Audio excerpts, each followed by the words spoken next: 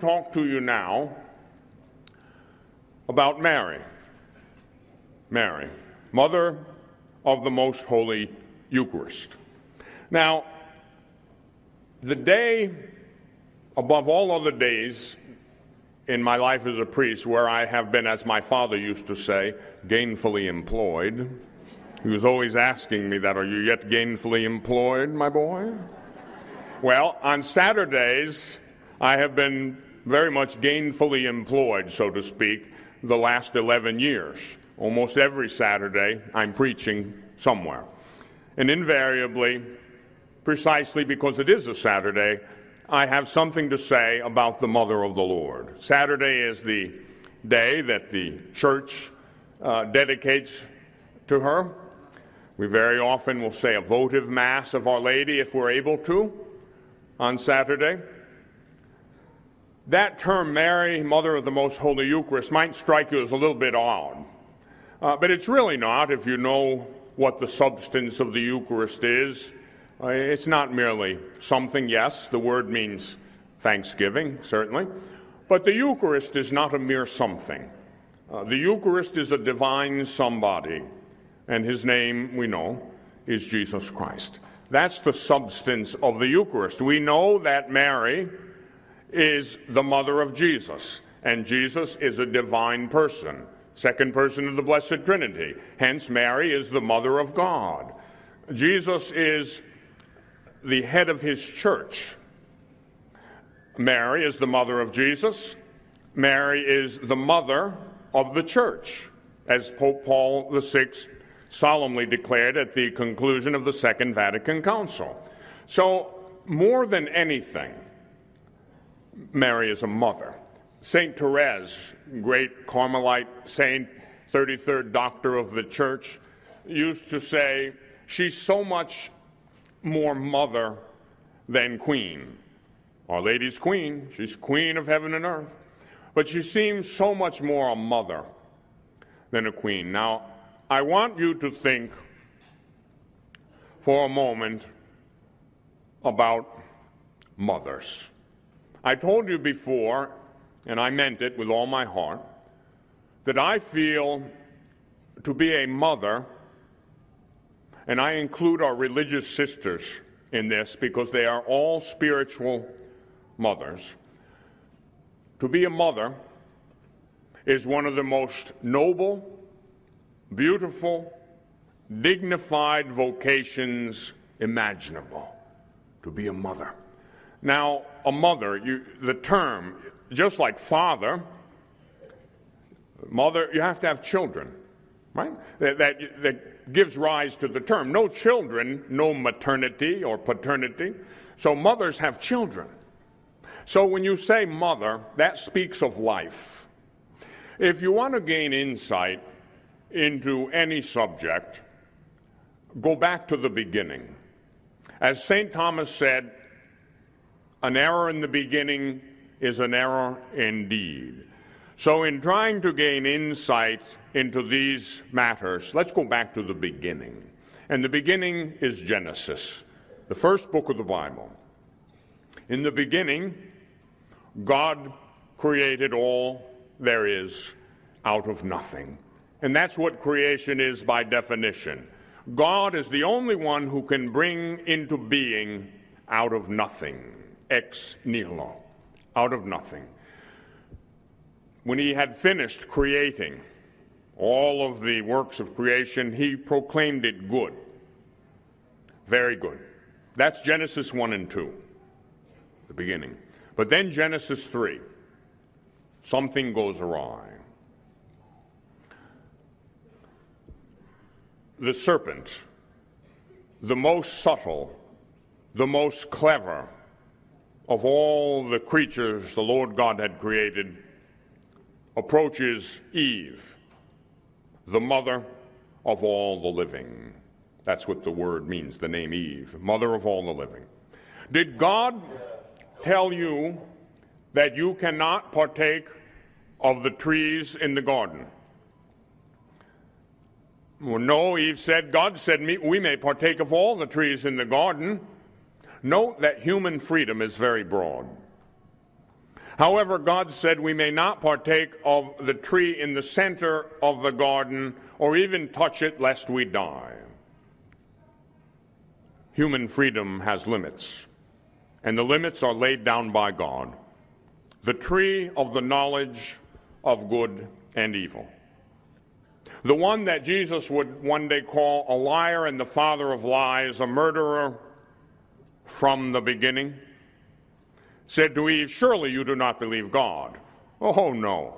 God doesn't want you to be like himself. God knows that if you partake of the forbidden fruit, your eyes will be opened and you will be able to see for yourselves what is good and what is evil. St. Thomas Aquinas says that the original sin had to have been pride. I can be like God, knowing subjectively and arbitrarily what is good and what is evil. I'll decide for myself what's good for me. That's how it was from the beginning. The original sin, it hasn't changed, goes like this today. I'm sophisticated. I'm educated. I can decide for myself what's good for me, what's not good for me. I don't have to listen to an old Polish pope. I can decide for myself when life begins and when life ends. Artificial contraception, we play God, trying to decide when life begins. Suicide, abortion, murder, euthanasia, playing God, trying to decide when life begins and when life ends. And so we have a death wish in our culture, a culture of death. Eve, the mother of all the living, became the mother of all the dead and dying. Pride, I can be like God. Disobedience, partaking of the forbidden fruit. And the ultimate consequence, death. It was at that moment that death entered creation. That is the prototype of all sin. Pride. Now, when I say pride, you understand what I mean. I do not mean that healthy pride, like I take pride in my work. I'm proud of my children. That's not what we're talking about. We're talking about what's expressed by the Greek term hubris. It's self centered, egotistical arrogance which seeks to exalt the creature above the creator. That's the pride that I'm talking about. So, pride, disobedience, death. Eve, mother of all the living, becomes the mother of all the dead and dying, and death descends on creation. Then, in the fullness of time, God sent forth his Son born of a woman. And if anyone has problems with the dignity of woman, let them meditate on that passage of Scripture for a very long time. Born of a woman. To deliver from the law those who were subject to the law. Galatians 4 4. How did Jesus come? Through a woman, the new Eve. Our Blessed Mother was called the new Eve by the fathers, doctors of the church. She became the real mother of all the living.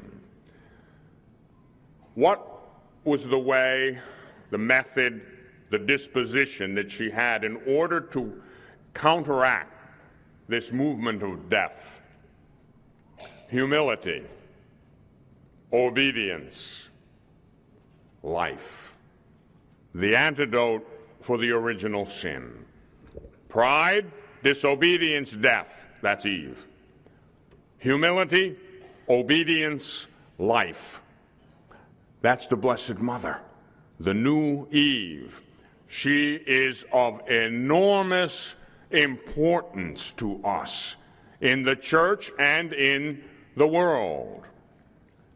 Now, most people cannot see these things because they do not have a spiritual mind. And you can talk until you're blue in the face to the worldly person, and they just won't get it. Things are received according to the mode of the receiver. That's an axiom in metaphysics. Things are received according to the mode of the receiver. In other words, you get what you're able to get. Your disposition determines what you're able to receive. Now, as a kindergarten teacher, back in Florida when I first began, I was teaching a group of lay evangelists, and at one point, the leader of this group leaped to his feet in a fervor of spirit, and he, and he yelled out one of the most notable compliments I've ever received in my life. And he said, Thanks be to God for Father Corapi, the Roto-Rooter of my soul.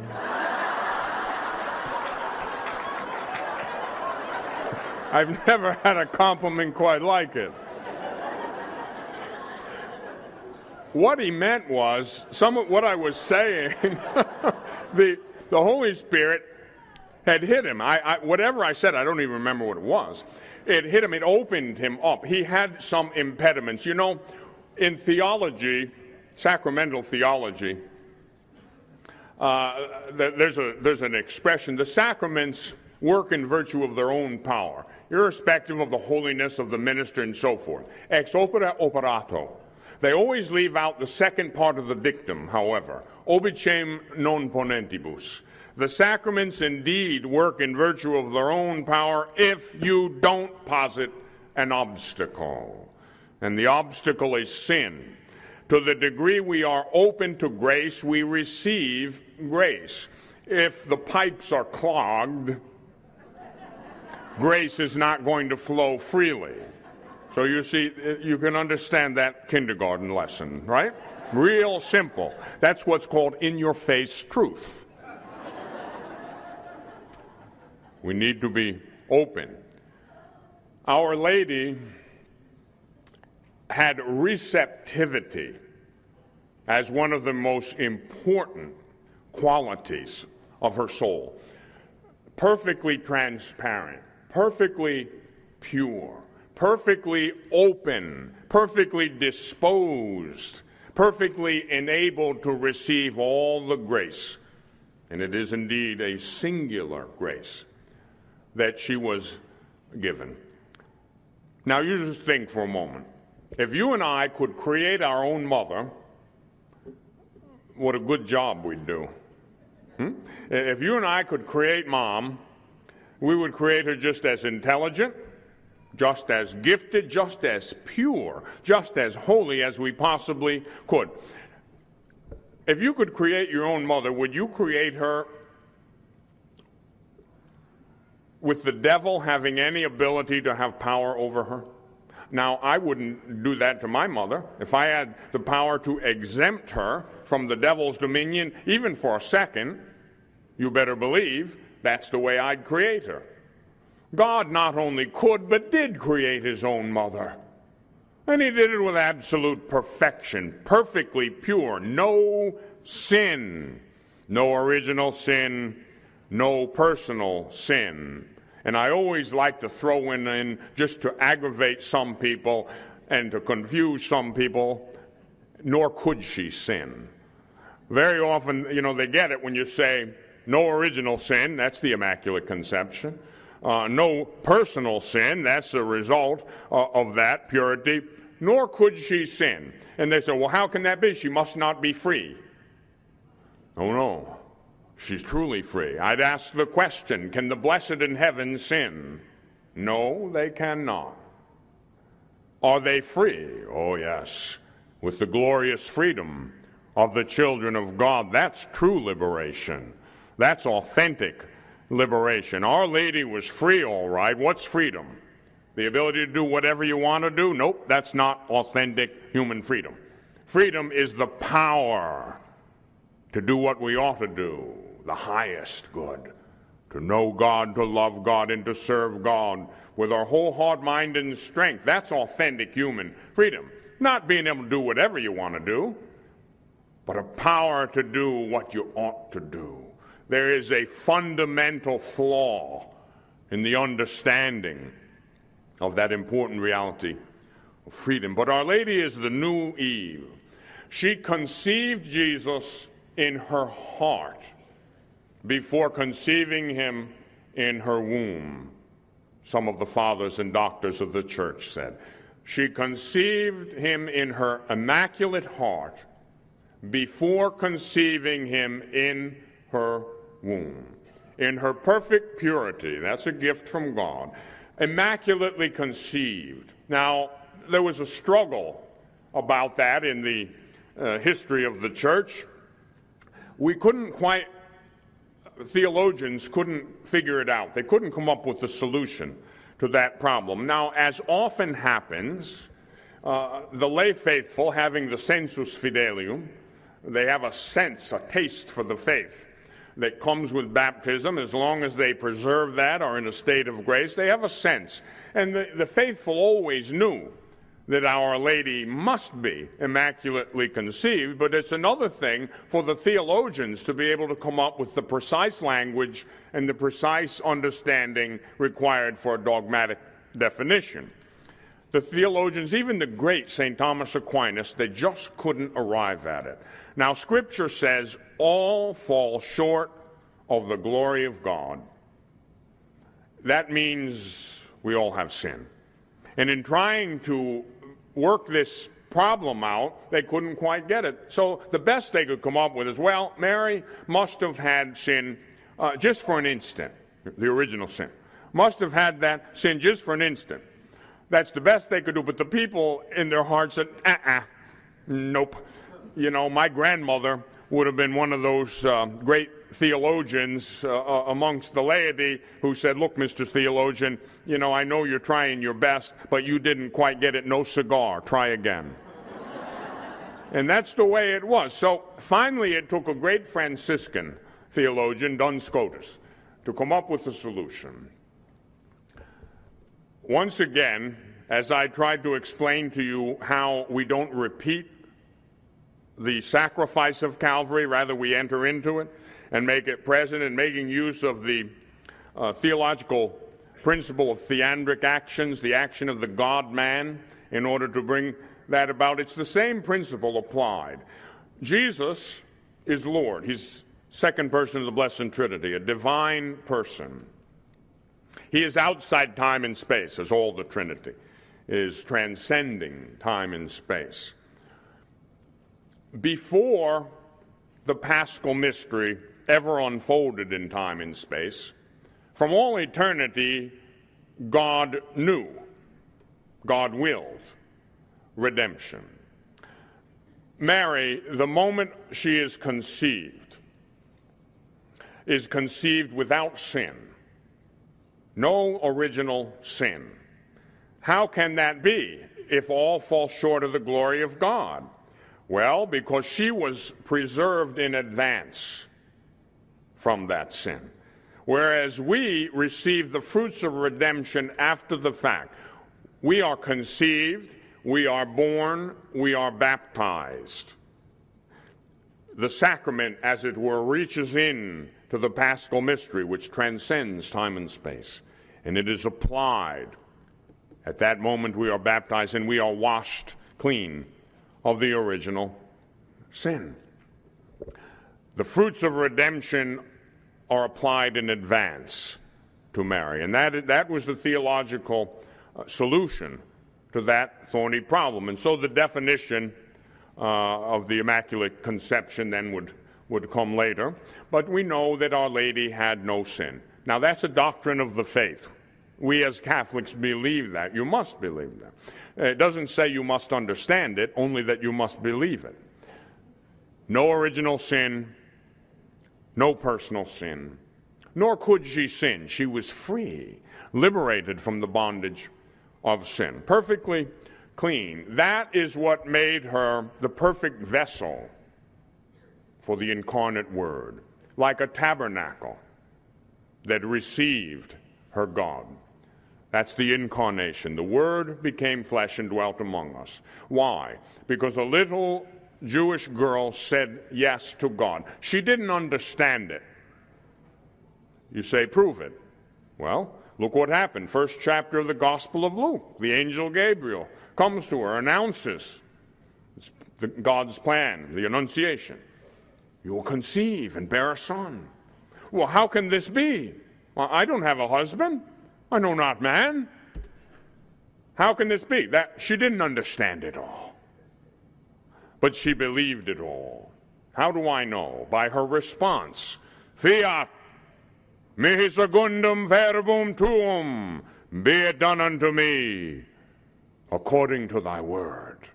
And the word became flesh and dwelt among us her humble, obedient response. She did not understand it all, but she believed it all.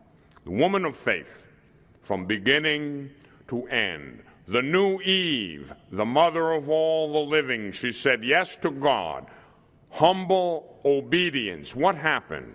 The Word became flesh and dwelt among us. The one who would later say, I am the way, the truth, and the life.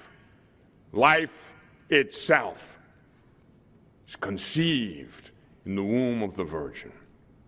Tremendous mystery. The antidote for death is the conception of life in itself. We know that God's very essence is to exist. Uh, in Christian philosophy, metaphysics, uh, we say that. God's very essence is to exist. We intuit that from the Old Testament. You remember on the mount when Moses saw the burning bush and God spoke to him from that burning bush Go tell the Israelite people, I am sent you.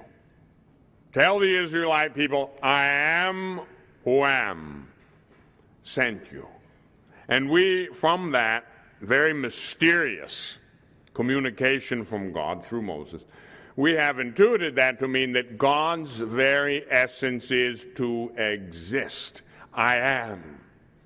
God is. Everything else is contingent being, dependent upon God for its very existence. That's life. What's life? God is life.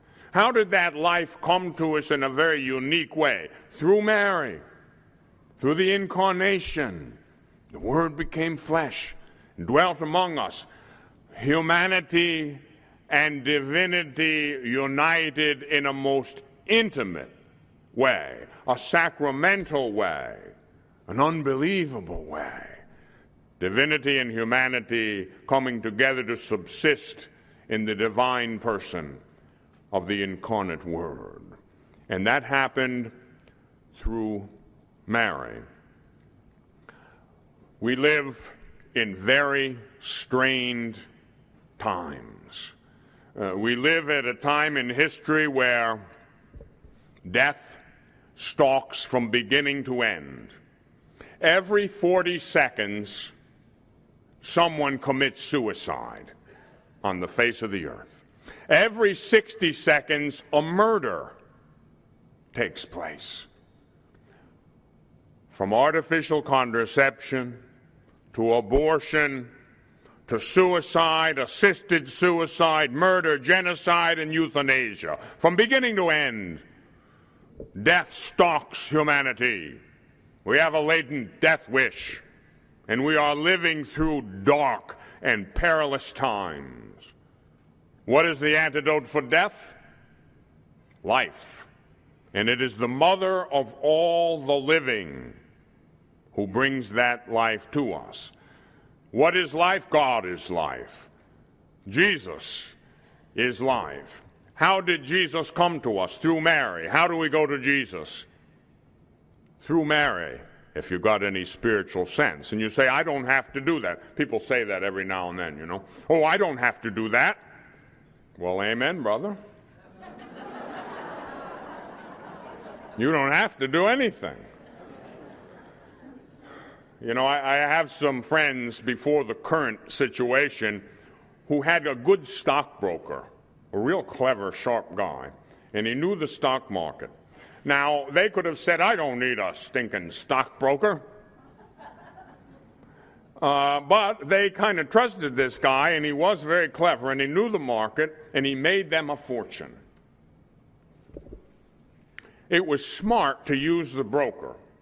Now, in case you don't already know it, because I've said it about two million times since I've been started preaching, Mary is my broker. That's right. The Blessed Mother's my broker. Now, to be honest with you, I don't have a whole heck of a lot to invest. I am what you might call spiritually poor. I am not too swift when it comes to spiritual things. There are a lot of people much more spiritual than I am, certainly a heck of a lot smarter than I am, better educated than I am. There's no question about that. And when it comes to doing penance and sacrifice and prayer, uh, I'm a peasant, and I know it. But even peasants can be clever and often are. And so I take my pittance of a spiritual inheritance. I take my few little prayers, my few little sacrifices, and I give them to my broker.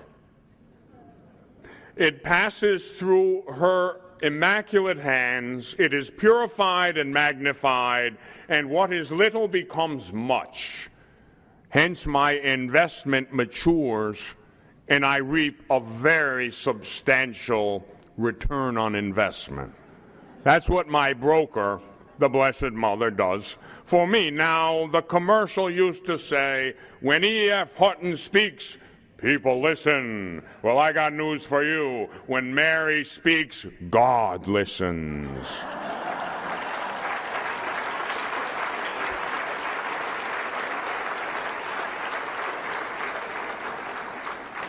She's the mother of the Holy Eucharist because she's the mother of Jesus, who is the substance of the Eucharist. She's the mother of all the living. And in this attack on life, we need such a mother to lead us into the fullness of life. I'll never forget the first time I was on EWTN. Jeff Cavins was interviewing me. Mother was on a plane headed for Spain and uh, at the end of the show, Jeff said, Father, if you could tell our listeners one thing. Now, eventually, millions of people will see this show. If you, you only have a couple minutes, he really put me on the spot. But that doesn't bother me a bit. said, You only have a couple of minutes. What would you tell all of our listeners if you could only give them one piece of advice? Now, I could have said lots of good things.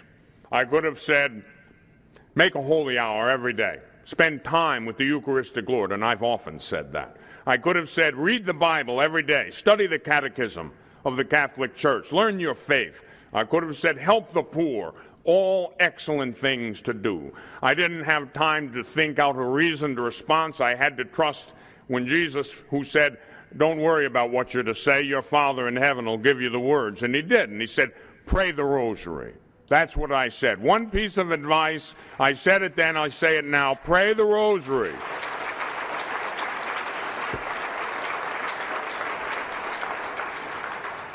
Now, you may think once again, as that eminent left wing theologian described me as a simpleton, and, and probably was right in many respects. That, that may seem like an overly simplistic answer, but I'm telling you, you pray the rosary because if you will do that, you will be given grace to do everything else you need to do. Do that first. Why? Why? You say, it's not biblical. And I say, oh, oh I'm glad you brought that up. Let's look at the rosary. Why is it so powerful? Quite simply because it's the prayer of the gospel. The gospel. What's the gospel? You know, the good news.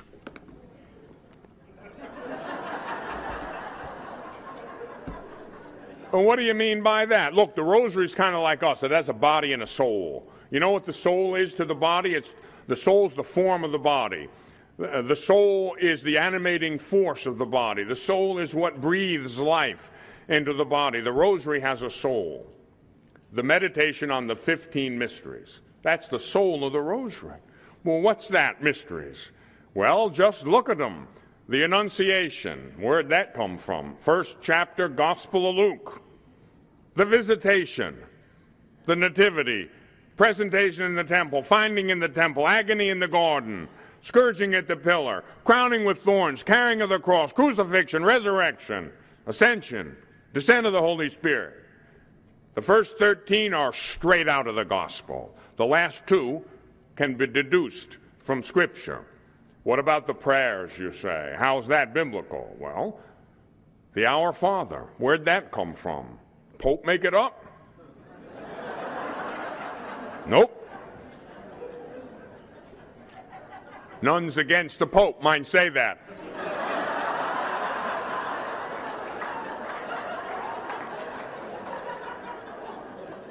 You say you're asking for trouble. That's right. Our Father. Lord, teach us how to pray. When you pray, you ought to say, Our Father who art in heaven, hallowed be thy name. Gospel prayer. Yeah, but what about that Hail Mary? I'm glad you asked. Hail, full of grace, the Lord is with thee. The angel salutation first chapter of the Gospel of Luke. Hail, full of grace, the Lord is with thee. Blessed art thou among women, Elizabeth says. Blessed is the fruit of your womb. Gospel prayer. You got it? The 15 mysteries, the prayers, Our Father, help, that's gospel prayer. What's the gospel? Means good news, that word. Good news. What is the good news? Something? No. Somebody.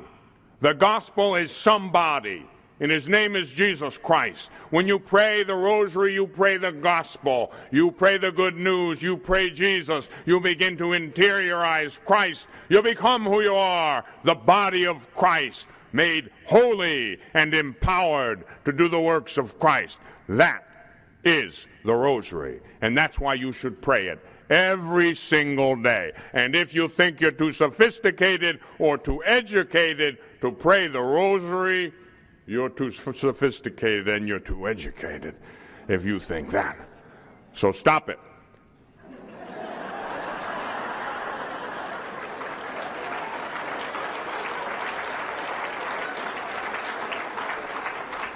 In this time of intense spiritual combat, in this time when the forces of death seem to have been unleashed on the world, in this battle between the forces of good and the forces of evil, between truth and lies, good and evil, light and darkness, life and death.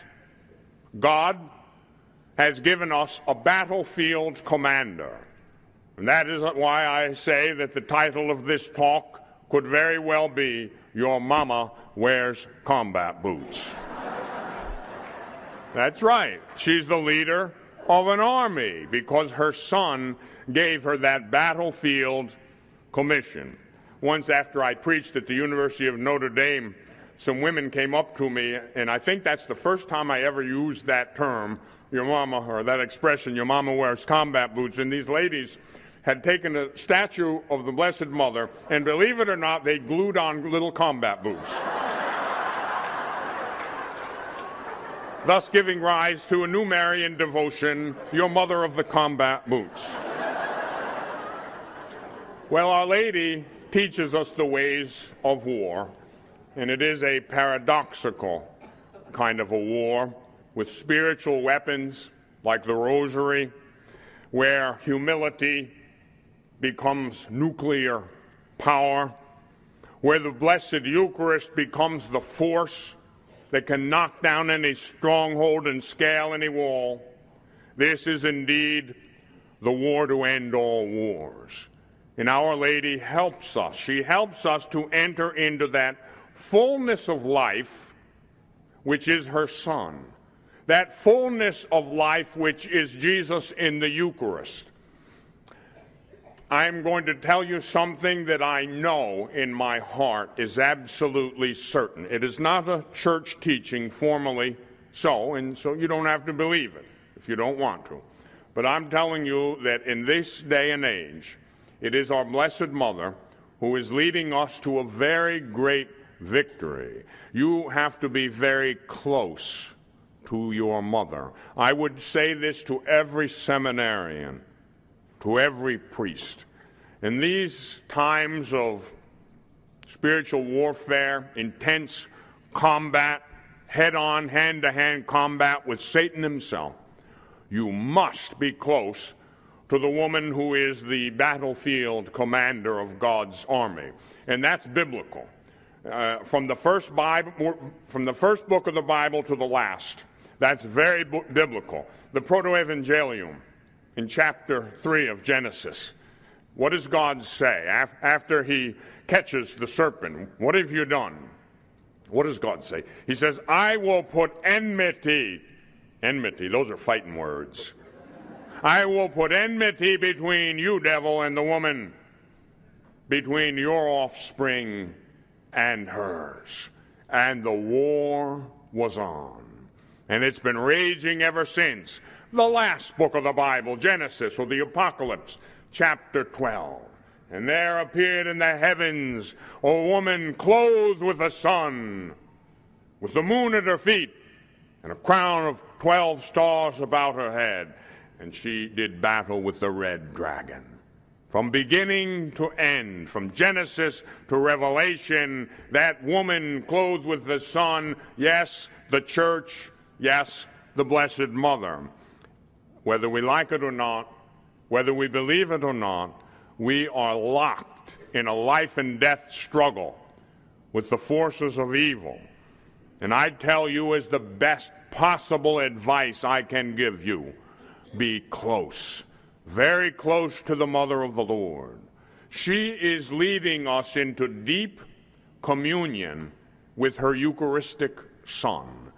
True devotion to Mary will lead you to the Eucharist.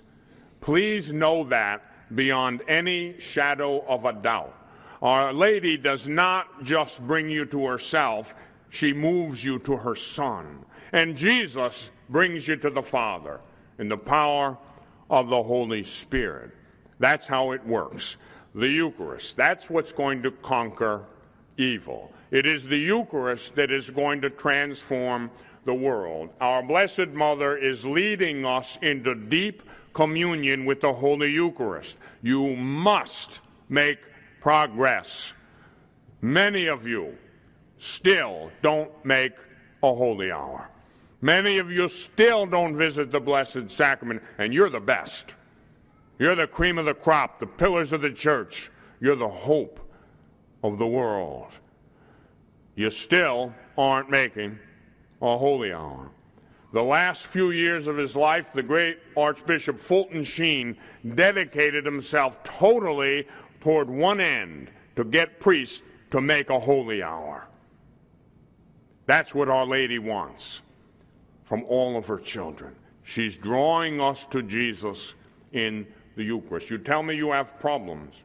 You tell me that your family is being split apart. You tell me you have cancer.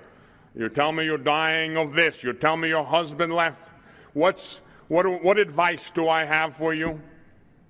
Draw near to Our Lady who will bring you close to Jesus in the Eucharist. Go into the chapel, to the church. If you can't give an hour to make a holy hour, then give a minute. Like the story I once heard about a guy named Joe. Now, Joe was probably from the UP. and Joe had a very pious wife. And every day, his wife Mary would go to church, go to Mass. But Joe, being a, a busy kind of guy, uh, he had to go to work early in the morning, but, but Joe dropped his wife off at the church, and she'd go in to spend time with the Lord and uh, assist at Mass. But Joe just stick his head in the back door, and he said, Hi, Jesus, it's Joe. And then he'd go to work. So he did it for years.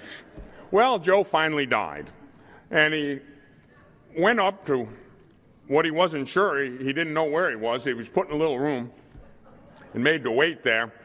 And uh, after a while, he started to get nervous because he wasn't quite sure which place he was in. And then finally, the door creaked open, And the head went out through the crack in the door. And the person said, Hi, Joe. It's Jesus. Come on in. Even if it's only a minute, even if it's only a minute, spend a little time with the Lord in the Eucharist. Enter into Our Lady's Immaculate Heart. It is a safe place. That is a spiritual secret the Holy Spirit once taught me. People ask me all the time, especially at events like this Father, pray for me. Father, pray for my children. Father, pray for my husband. Father, pray for my pastor.